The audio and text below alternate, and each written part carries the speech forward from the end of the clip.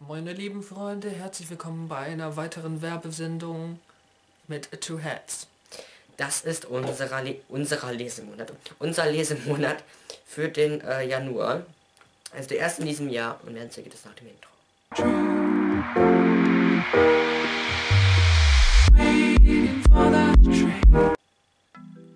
Hallöchen. Hey, hey. Äh, seid ihr auch hier? Ja, das freut mich, wenn ihr auch hier seid. Also wir haben heute den 4. Februar. Ähm, ich weiß, es kommt ein bisschen später, es kommt ich heute auch online, oder? Äh, Heute oder morgen? Ja, Also in heute, der Nacht heute so. sogar. Heute, uh, in der Nacht. Ja. Nachtsonne. Ah. beachtet ihn einfach nicht. Blendet ihn aus. Das sah gerade gut aus. Du musst aber nicht bitte nochmal machen. Ähm, so. Ähm, wir, also ich habe insgesamt sechs Bücher gelesen. Ich drei. Ähm, Ich sag drei und mach fünf. Jetzt will ich immer sagen, ich zeige mal zwei, du ein. Ich zwei, du eins. Oder? So. Was denn? Ich mag meinen Stuhl sehr gerne, denn er Ist toll. toll. Äh, Okay. Ja, zwei, ja, so zwei, eins. Jetzt muss ich mal nach hinten greifen. Mein erstes Buch, was ich diesen Monat gelesen habe, und zwar habe ich ja mein, mein schlaues Heftchen. Das habe ich am 1. Januar gelesen. Das habe ich schon am 31. Dezember oder 2, nee, 30. Dezember, 30. Dezember habe ich es angefangen.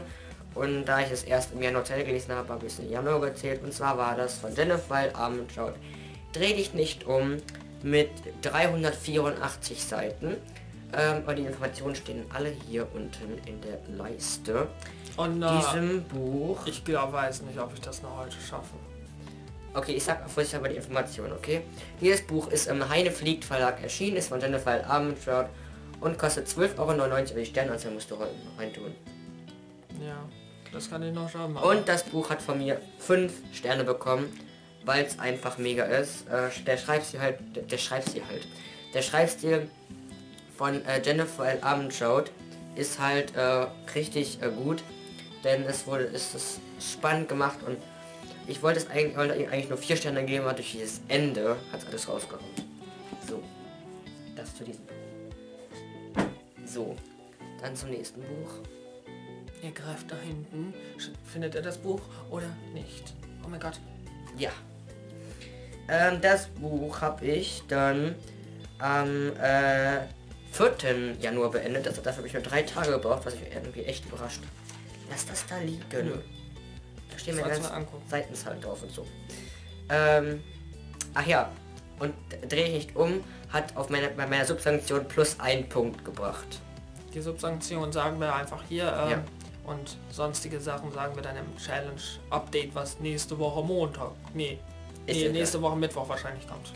Ähm, und zwar war das Buch, was ich am 4. Januar beendet habe, Frostkuss von Jennifer Estep. Ähm, das Ich Buch... denke gerade Jennifer. Abend. Ja, das habe ich gerade, ich wollte es gerade auch irgendwie sagen, aber ich habe es noch, habe ich noch gerettet. Ähm, und zwar ist es im Eevee oder Ivy Verlag erschienen.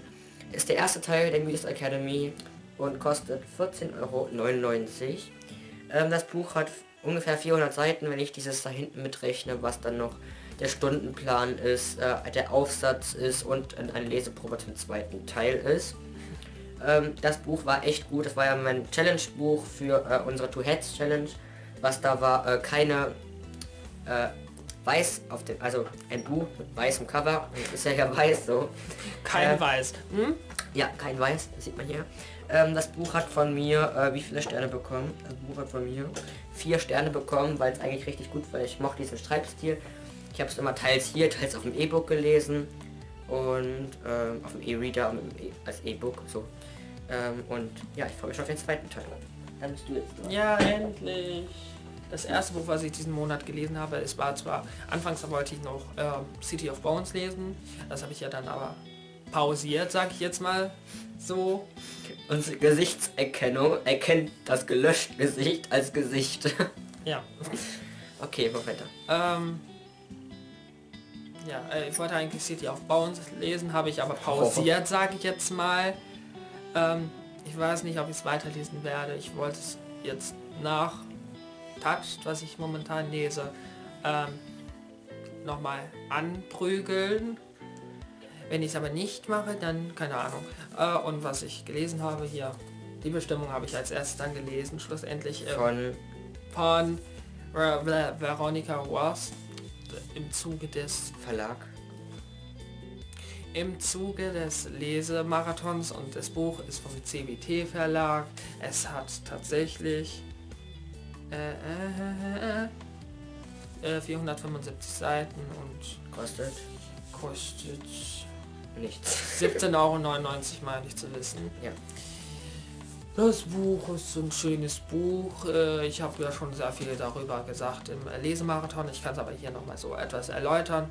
Ähm, genauso wie bei Onyx, wer unsere Rezension gesehen hat, hat mir eine Sache da missfallen, eine Situation, eine Stellungnahme im Buch, ein Gedankenzug äh, eines äh, Charakters. Und ich will darauf nicht eingehen, weil das spoilern würde. Also ihr müsst wissen, Gedankengänge sind da Millionen und wenn einer nicht passt, dann ist schon ein Nein. halber Stern weg.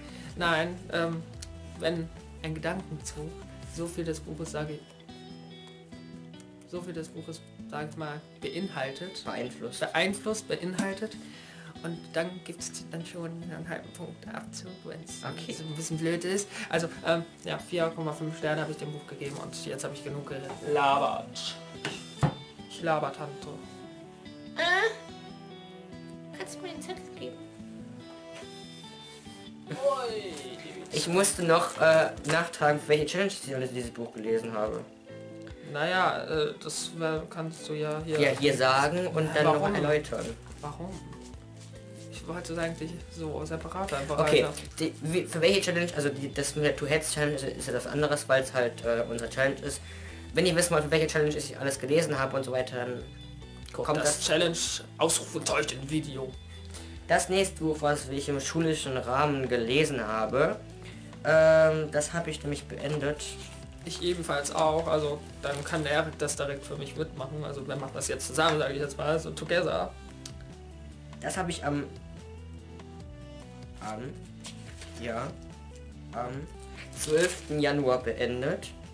Ähm, oh Gott. Und zwar von Dürrenmatt, der Besuch der alten Dame. Wow. Ähm, ja, das Buch hat äh, eigentlich 134 Seiten. Ich habe aber 153 gezählt, weil ich den Anhang, An Anhang noch mitgezählt habe. Ähm, Du böser, böser Bube, du. ja, ich bin böse. Und ähm, ja, das Buch hat mir, es hat mich überrascht, weil eigentlich äh, mag ich sowas nicht. Und ähm, dennoch hat es von mir drei Sterne bekommen, weil mich dieses Ende schon allein vom Ende her würde ich mindestens einen Stern abziehen, wenn nicht sogar noch mehr. Und diese Sprache hat mir manchmal nicht so gefallen, manchmal hat man auch gar nichts verstanden. Naja, das Problem war hauptsächlich ja auch, naja, nicht das Problem, aber äh, was ich etwas so bäh, ekelhaft fand, war diese ständige Wiederholungen. Ja, und dann warte. Der Zum Beispiel der erste, der zweite. der dritte. Aber das ist natürlich ein, das ist noch verbunden. Aufmerksam. Das habe ich Ja, da reingeschrieben. wer ist hier wohl aufmerksam? Im Findet das Unterricht. Hab ich, das war ich im Unterricht aufmerksam, wo ich im Rande Ach so, ja. aufmerksam hingeschrieben habe. Ja, ich weiß. Ja, ähm, also ich habe diesem Buch drei Sterne gegeben. Das Buch kostet 8,90 Euro. Ja, und ist im Diogenes Verlag erschienen. Und ist von... Tragische Komödie. Ja, aber es ist ja sehr lustig. Nee, Komödie? Ja, Ist lustig. nein. Nee, doch, es ist eigentlich, es ist lustig. Komödie ist lustig. Okay, ja, dann... Äh, ich habe mich so stark gelernt in diesem Buch. Äh, hast du schon gesagt, dass es von Friedrich Ja. Dürrenmatt ist? Ja. Schön. Ähm, also jetzt machen wir erstmal für die schulischen Leute da Gedichts... Äh, nee, äh, Bilderinterpretation. Was bedeutet dieses Bild? Du mach jetzt deine Bewertung. drei Sterne habe ich das Ding auch gegeben, weil manchmal bei etwas längeren Texten versteht man die dann irgendwann nicht mehr, aber das liegt daran, dass ich kein Altdeutsch spreche. Ähm, ist also so was Persönliches bei mir und diese ständigen Wiederholungen und das Ende, also das, die Wiederholungen halt, wir stehen alle hinter dir, hinter dir, hinter dir, hinter dir, hinter dir, hinter dir, hinter dir. Okay. Und ähm, das Ende fand ich jetzt auch nicht das Beste. Wie Erik schon sagte, äh, ich lege es einfach mal hier Also ich habe in diesem Monat irgendwie dreimal fünf Sterne be bewertet. Weil dreh, da drehe ich nicht um, war schon so Grenze, also fast viereinhalb, ich habe mir noch fünf gegeben. Jetzt kommt mein ähm, eines, ich habe zwei Monatshighlighter, das eine ist meine Monatshighlighter, wobei das sich ein bisschen überschneidet, also egal. Mein erstes Monatshighlight war von Laura Newman, Nachtsonne, Flucht ins Feuerland, das ist der erste Teil der Nachtsonne Chroniken. Ähm, ja, das Buch Das hier ist die Laura Newman. das kostet normal, ähm, das kostet normal 11,90 Euro. Ja, mhm, äh, das kostet, das kostet normal 11,90 Euro als E-Book glaube ich 3,90 Euro. Ich weiß es nicht. Verurteilt mich nicht, wenn ich schlecht, wenn ich es falsch gesagt habe.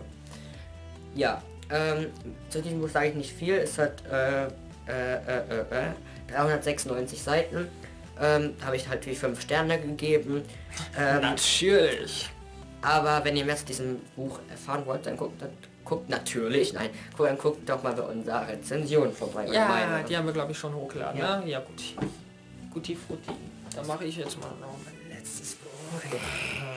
äh, mein letztes Buch, was ich diesen Monat schon beendet habe. Nee, letzten Monat beendet habe. Es ist Silber, Silber, Silber.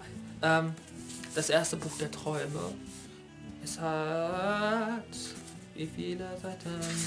404 ist im FJB Verlag erschienen.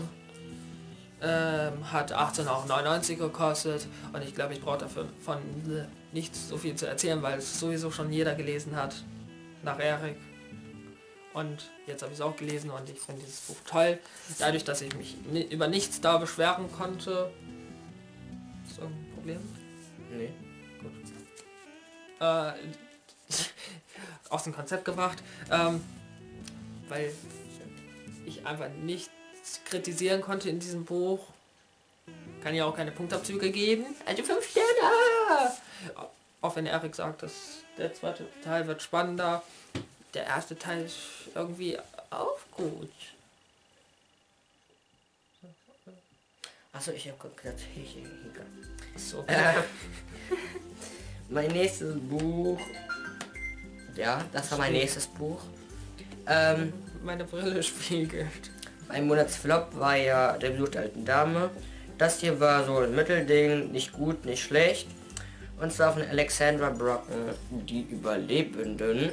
Ähm, das Buch hat 12,99 Euro gekostet, ist im Goldmann Verlag erschienen und hat 543 Seiten.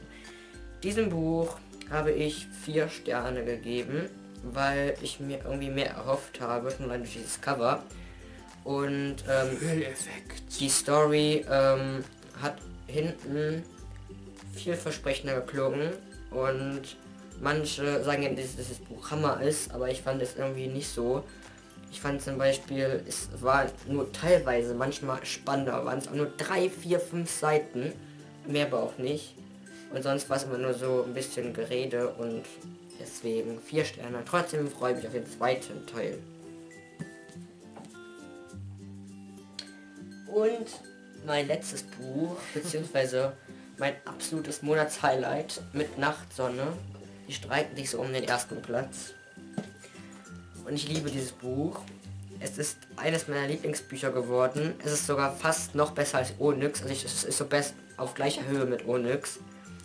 Und zwar ist es von Veronica Roth, Die Bestimmung, tödliche Wahrheit. Darf ich kurz was einwenden? Ja, Du sagst jedes Mal, ich liebe dieses Buch. ja. Äh, Wenn ich ein Buch liebe, dann liebe ich mein Buch. Ja. genau. So, ich liebe dieses Buch, ich liebe dieses Buch, ich liebe dieses Buch, ich liebe dieses Buch, ich liebe dieses Buch.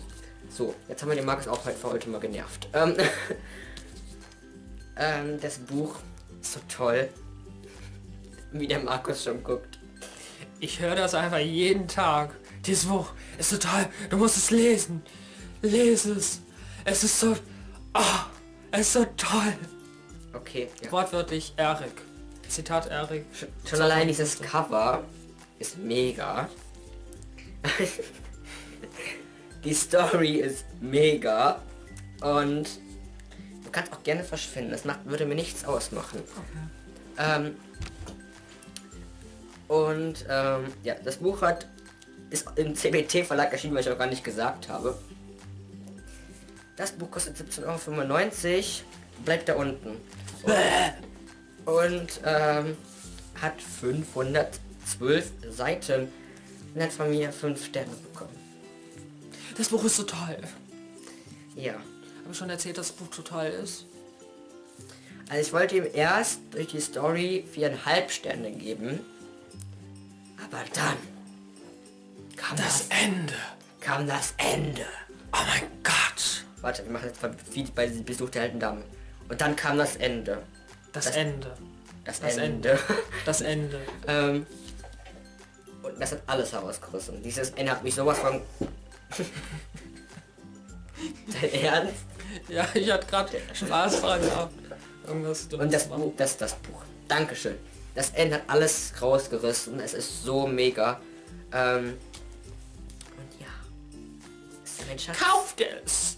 Jetzt, heute, hier Und ich bei twoheads.de. Und ich glaube, wenn der dritte auch so gut ist, dann sprengt das alles und ich gebe sechs Sterne oder so. Du erfindest das neue Sechs-Sterne-System. So. Damit kommen wir zusammen auf, also bei mir, äh, auf eine Seitenzahl von 2388 und das wären dann 77 Seiten pro Tag, womit ich echt zufrieden bin. Ja. Ich nicht. Und Ähm, jetzt kommen wir zur Markus-Statistik. Ja, es ist auch besser geworden. Also ich bin jeglicher Hinsicht zufrieden damit im Gegensatz zu Dezember, wo ich ja meine extreme Leseflaute hatte. Ich habe nämlich 1107, wenn ich mich jetzt gerade richtig äh, erinnere, was ich aber nicht glaube. Und insgesamt 32 Seit- äh, 32,8 Seiten pro Tag. Das finde ich äh, sehr klasse. Jetzt kommen wir zu meinen Subsanktionspunkten. Ähm, insgesamt von meinen gelesenen Büchern. Meine gelesenen Bücher haben plus 16 Punkte gesammelt, da ich aber zwei Bücher gekauft habe. Einmal, beziehungsweise eins habe ich geschenkt bekommen. Ähm, das hat dann minus 1 gebracht.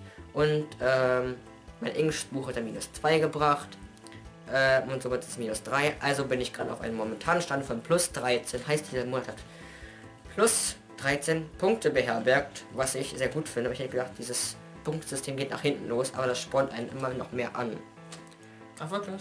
Ja, ich habe nämlich, das einzige, was ich gekauft habe, war The Darkest Minds. Und das musste einfach bei mir sein.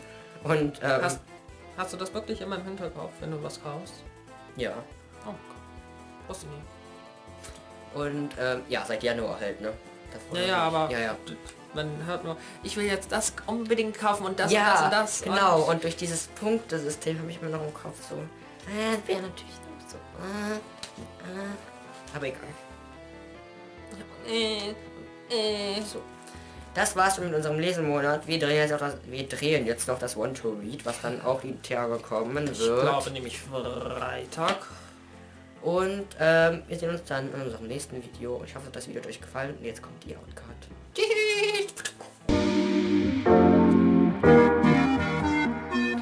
Das war's von unserem Video auf dieser Seite. Werdet ihr jetzt hier unsere Kanäle äh, Also Lovely Books, Twitter und Goodreads finden. in der Eigentlich Reihenfolge müsste- Goodreads, Lovely Books und Twitter. meine Eigentlich ich. müsste ich dann auf Facebook einfügen, aber es ist scheißegal, weil ihr hier unten hier ein äh, älteres Video, also das letzte Lesemonat finden wird und auf dem YouTube-Banner könnt ihr uns sogar abonnieren, falls ihr lustig seid. Das Du hätte unsere Facebook-Seite ist unten in der Infobox verlinkt. Und äh, irgendwann wird es auch noch, das geht aber gar nicht, aber egal, irgendwann wird es noch der Seite zu finden sein, wo man dann halt nicht draufklicken kann, aber es wird dann halt irgendwann zu sehen sein. Ja, und jetzt wird das Bild so irgendwann so verschiebt gemacht. Dann ist alles gut. Und wir wünschen euch viel Spaß beim Kolorieren, weil ihr wisst ja, Kolorieren ist schön und denkt immer an eure Haare. Tschüss. ja.